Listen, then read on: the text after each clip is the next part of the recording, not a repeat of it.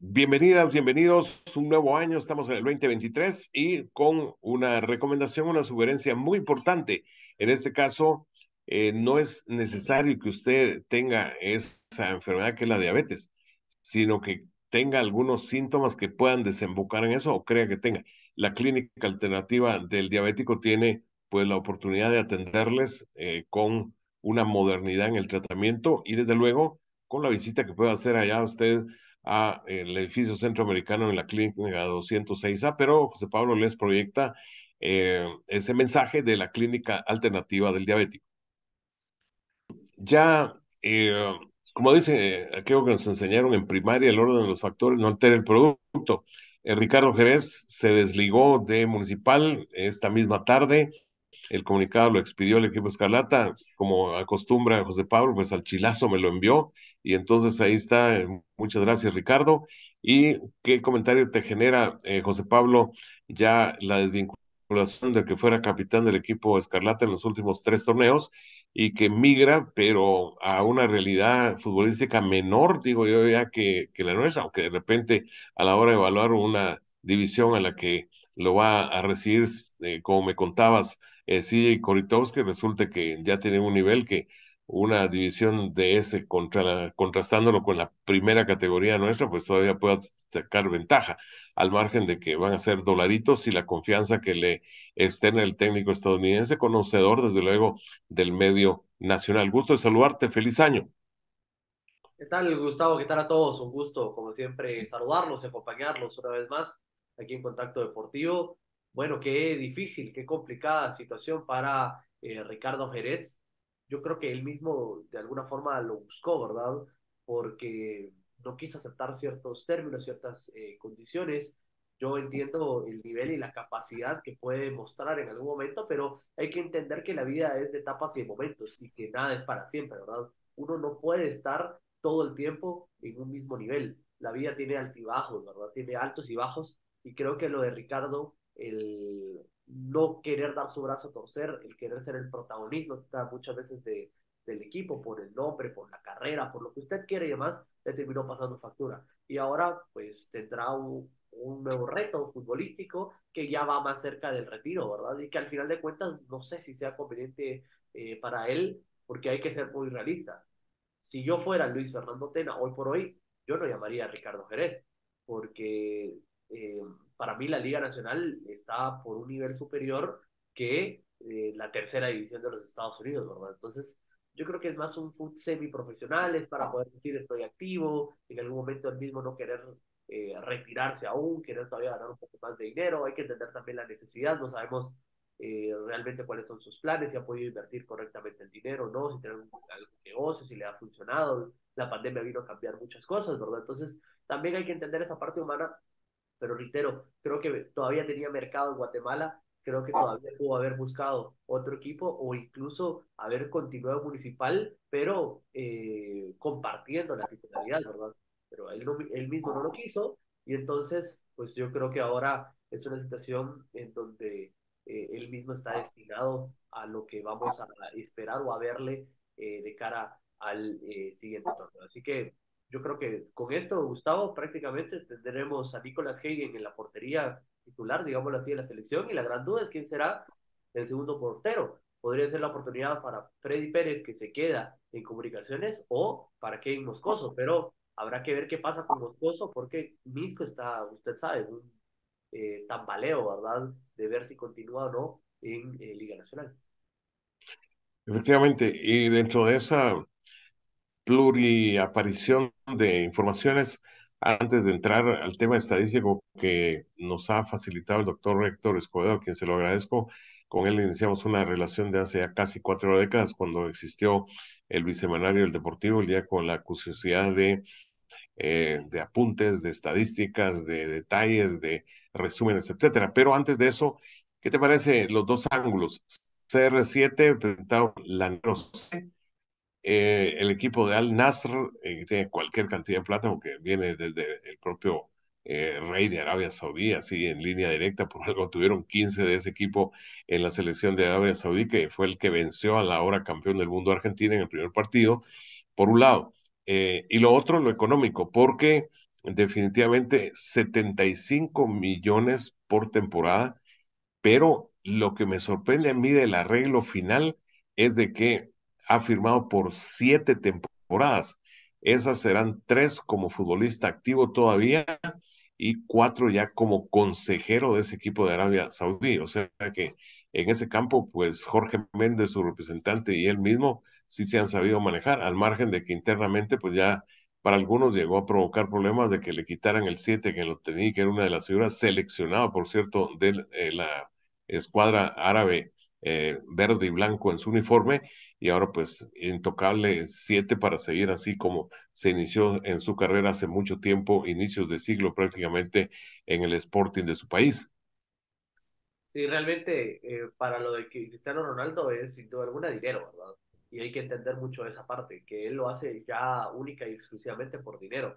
Es eh, un caso de alguna forma eh, similar al de Ricardo Jerez, ¿verdad? De no querer retirarse, no querer aceptar en algún momento el fin de un ciclo, de una profesión, en este caso, de querer seguir continuando y seguir forzando. hay muchas críticas al respecto, ¿verdad? Porque si nos ponemos a analizar, Cristiano Ronaldo, pues va a pasar a una realidad futbolística baja. Pero en el caso de Messi, no sabemos si va a poder renovar o no con el PSG. Se habla que podrían extenderlo todavía un año más, ¿verdad? Y sí, no es lo mismo poder jugar Champions, poder estar a ese nivel, que poder jugar, eh, sin duda alguna, eh, en un equipo que, si nos ponemos a analizar, Gustavo, ni siquiera está clasificado a la Champions eh, asiática. No, es, no está clasificado. Entonces, no estuvo en la edición pasada, no está en esta. Actualmente está en la segunda posición en la tabla de la Liga de Arabia Saudí. O sea, tampoco es como que sea un equipo súper importante o relevante al momento allá en Arabia Saudí. De hecho, me puse a estudiar un poco la, la historia. Es un equipo corto, ¿verdad? En cuanto al, al tiempo que tiene eh, de existencia de, 1975 para acá no es, no es demasiado y en ese tiempo haber ganado nueve títulos creo que tampoco le habla así eh, demasiado sobre el palmarés, pero sin duda alguna, pues la novedad es Cristiano Ronaldo, el que continúa de alguna forma activo, en el que se muda ahora al fútbol eh, asiático y que vamos a ver qué es lo que pasa o qué es lo que suceda, que sin duda alguna no vamos a poder ver los partidos, pero sí una que otra imagen cuando haga algo importante o relevante. Bueno, eh, como nos apuntaba, eh, parte incluso lo incluye el, eh, el titular, es platicar de estadísticas, de números y de historia a la larga, porque lo que ha recogido y recopilado y juntado y ordenado el doctor Héctor Escobedo, pues así lo es. ¿Qué te representa, José Pablo, por ejemplo, que los torneos cortos que se iniciaron con la temporada 99-2000 pues aparezca Municipal encabezando los títulos con 16 coronas, 16 coronas a pesar de, las cortas conquistas en número en los últimos tiempos, comunicaciones con 4, 14, a 4 baja Antigua, pero Antigua es el más productivo de esta época. Eh, luego aparece Guastatoya con 3. Eh, hay una trilogía de equipos con dos coronas que son eh, Cobán, el actual campeón, y Jalapa ya desaparecido. En tanto de uno, pues Suchitepec es Malacateco y Santa Lucía. En el aspecto campeones, te dice eso, encabezado por Municipal y cerrado con ese trío de monarcas una vez.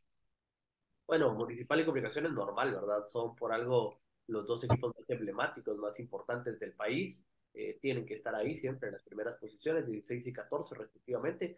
Eh, después, eh, llamativo lo de Antigua, porque su historia, a pesar de que de alguna forma es larga en cuanto a la existencia del equipo, ¿verdad? Sin embargo, del primer título a este último es, muy corto, o sea, su primer título lo ganaron recientemente y el último también, entonces, eh, a lo que voy es que en esta etapa moderna, digámoslo así, ya conseguir cuatro títulos es importante, ¿verdad? Estamos hablando de que están a uno de poder conseguir las mismas cinco lunas que tiene, o títulos que tiene Shela. Shell en este caso en torneos cortos tiene únicamente dos, me parece muy pobre realmente para eh, la calidad de equipo. La gran revelación es Guastatoya, aunque bien es cierto, creo que ha ayudado mucho eh, en este caso que el alcalde eh, tiene mucho gusto por el fútbol y ha apoyado y ha permanecido durante varios, varios años, ¿verdad? Ahí en el, en el puesto. Y me parece que lo de Cobán Imperial, pues, eh, eh, que ha sido lo más reciente, digámoslo así, también es importante. Ha sido una de las mejores cosas que, que le pudo haber pasado eh, a la, al cuadro de Cobán en, este año. Lograron poder conseguir un título con mucho esfuerzo y es una plaza interesante. Ahora miramos justamente eso, que los equipos departamentales pelean más. Santa Lucía, Malacateco, eh, Cobán, Shela, Guastatoya, Antigua, pues yo creo que es el claro, el claro ejemplo. Y antes, pues de historia solo teníamos Cobán en algún momento, Jalapa, eh, lo del mismo Suchitepeques, eh, pero hasta ahí, ¿verdad? Todo era municipal y comunicaciones. Creo que desde hace un par de años atrás, digamos unos siete años quizás, ya los equipos departamentales han venido a pelear cada vez más y a complicarle más la situación para que ya no sea únicamente solo rojos y cremas. Sí, efectivamente, después del EXA de comunicaciones, pues comunicaciones ha logrado una corona nada más y después del famoso Pente de los que fue antes, pues las coronas uh, municipales han escaseado también eh, para llegar nada más a 29, 30 y 31, o sea, solo tres. En su campeonato municipal lidera también con un total de 16 por 14 de comunicaciones, los mismos números, los mismos números de Antigua. Eh, Guastatoya ahí baja a dos subtítulos, al igual que Xelajú, Cobán, Suchitepeques, Heredia, dos subcampeonatos fueron consecutivos, ya desaparecido y ahora regresa en otras divisiones. Malacateco, que tiene dos subcampeonatos, y Marquense, dos subcampeonatos, y Malacateco, uno. Y en globales, pues municipal, lógicamente, 16 y 16, pues ahí están las matemáticas, son justas. 32, comunicaciones 14 y 14 son 28, y Antigua entre títulos y subtítulos suma un total de 7, y la Guastatoya en una cuarta ubicación con 5 superando a Xelajú en el sentido con cuatro, porque está dos y dos, y también a Cobán con esos números. Sí, lo de los subcampeonatos, Gustavo, me parece eh, igual, comunicaciones y municipal, pues siempre liderando esas eh, estadísticas, ¿verdad? Por el hecho de que son los equipos, de alguna forma, llamémoslo así, más regulares, tal vez no solo en ganar, sino también en competir y en poder estar siempre hasta las últimas instancias. Eh, sin embargo, podemos observar que los departamentales cada vez pueden tener más chance de poder llegar a finales, ¿verdad? Y poder estar ahí peleándolas. Entonces creo que eso es, creo que eso es algo bueno. Malacateco hay que recordar que ya había llegado a una final, que la perdió con Antigua, y esta última pues sí la logró eh, ganar. En el caso de Marquense, pues ha sido una pena, ¿verdad? El proyecto y todo lo invertido por Pineda Lame en su momento, que no pudo concretarse con, con una conquista. Lo de Heredia, recordamos que fue muy polémico en su momento, pero al final pues logró llegar hasta esas instancias y estuvo muy cerca, pero eh, habrá enfrentado quizás a, a uno de las mejores versiones de comunicaciones en esos tiempos. Y después pues tenemos, me parece, lo de Cobán, lo de Shela, lo de Huasta y Antigua, total y completamente normal en una era moderna en donde nos han acostumbrado a poder pelear y estar prácticamente en estas finales. Y lo último, eh, los técnicos que han logrado coronas, hay una trilogía que encabeza con un quinteto hablando de Horacio Cordero, ya retirado prácticamente con tres coronas eh, dirigiendo Municipal y dos a Comunicaciones. Lo mismo el caso de Iván Franco Sopegno eh, y eh, otro que se suma con esa cantidad y las consiguió en su primera aparición acá en Guatemala, siendo el técnico del Penta.